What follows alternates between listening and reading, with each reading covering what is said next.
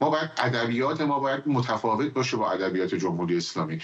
جمهوری اسلامی به اسم قتل های حکومتی ترور دولتی رو می‌گذاره اعدام که در واقع اینجوری جلوه بده که گویی فرایند قانونی طی شده و اعدام به عنوان یکی از مجازات های قانونی که در متن قانون اومده پذیرفته شده است. این اساسا صحت نداره. برای اینکه در مورد آقای قبادی ما دیدیم اساسا حکمی صادر نشده و شما حرف یعنی سند و حرفای آقای رئیسیان وکیل آقای قبادی رو دیدید اساسا حکمی صادر نشد 15 ساعت بعد از بله. کشتن و قتل محمد قبادلو حکم صادر شده. اصلا باور نکردنی است بنابراین استفاده از کلمه اعدام در این مورد از بیخوبون غلطه. ما با قتل حکومتی ما با جنایت مواجه هستیم. یا مثلا بحث زندانی سیاسی. ببینید در ما چیزی به نام زندانی در جمهوری اسلامی نداریم. اینها اسیر هستند دقت میفرمایید. اسیر هم حکمش در فقه شیعی مشخصه که با اسیر چیکار باید کرد. مالش باید بله. به عنوان غنیمت همین آقای سلیمی فرهاد سلیمی. همین زندانی کرد و نمی‌دونم تصاویرش رو دیدید. قبل از اعدام. ضرب و شتمش کردن. یعنی تصویری که منتشر شده با بینی برجسته. معلومه که یه کسی که دارن می‌برن جانش رو بستانند رو هم حتی بهش رحم نمی‌کنن و ضرب و شتمش کردن. کاملا. ببینید ما ما با قانون مواجه نیستیم. آنچه که در جمهوری اسلامی وجود داره یک سری احکام شرعی است و فقه برآمده از فقه شیعی.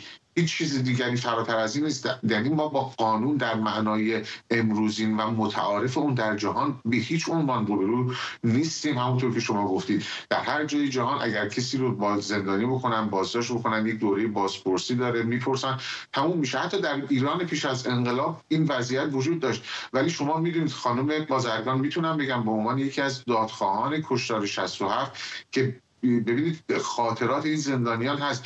حتی پس از دوران بازجویی و بازپرسی و صدور حکم مدام اینها در حال شکنجه و در واقع اذیت و آزار بودن و بیا حکم زندان براشون صادر می‌شد. حتی بعد از پایان حکم در زندان میمونن و بعدم به اون شکل در واقع به قتل رسیدن. بنابراین ما اساسا با یک با یک برخورد حقوقی و قانونی ما نمی‌تونیم در واقع جلوی این فرایند رو بگیریم. در مورد سوالی که بله. مطرح کردید ببینید من نمی‌خوام واقعا دامن بزنم به این افتراقی که به وجود اومده. ولی اگر ما اینها رو مورد توجه قرار ندیم این وضعیت ادامه پیدا خواهد کرد. ما در همین چند ماه گذشته شما ببینید یک جریانی به طور مشخص به اسم در واقع ایرانگرایی به اسم ملیگرایی به اسم مخالفت با جمهوری اسلامی عملا به بازوی تبلیغاتی و کمکی جمهوری اسلامی تبدیل شده برای اینکه مسائل اصلی رو با حاشیه در هم بیامیزه و عملا اجازه نده که این اتفاق بیفته. من نمیگم که نیروهای خارج از کشور توانایی سازماندهی و بسیج و نهادسازی در داخل کشور رو دارن. ما در واقع طیف های مختلف اپوزیسیون نشون دادن که به دلایل مختلف این توانایی رو ندارن.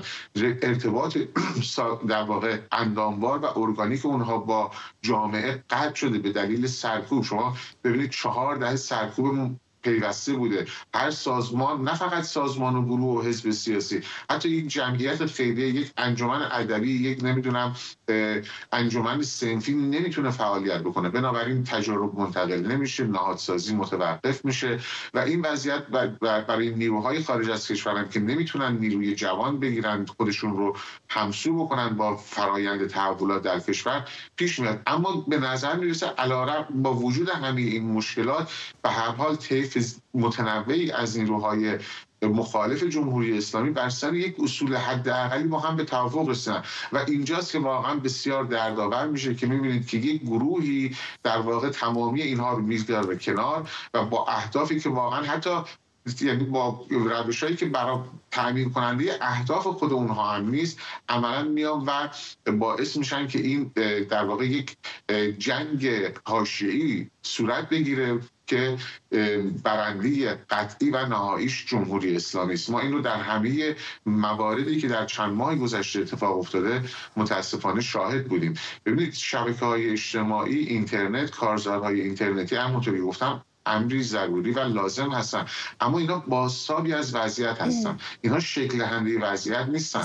سال گذشته وقتی اون روحیه جمعی شکل گرفته بود و همه در واقع داشتن به وظایف شهروندی خودشون عمل می‌کردن طبق همون حرفی که آقای صمیمی قبل از اون زده بود بعد از قتل بکتاش آپتین که هر کس هر جا که هست یک قدم بیاد جلو.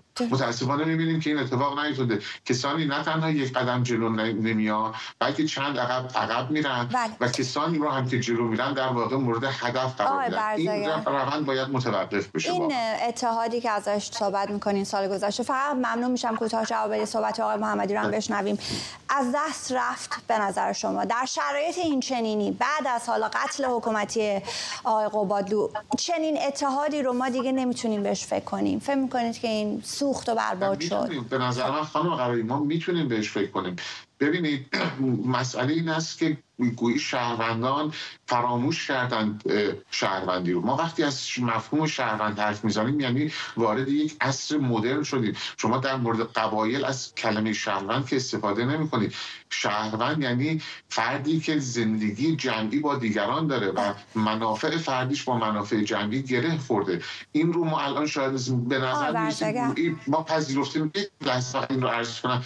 یک نوع تقسیم کار صورت گرفته که یک عده باید مبارزه سیاسی بکنن مثل زندانیان سیاسی.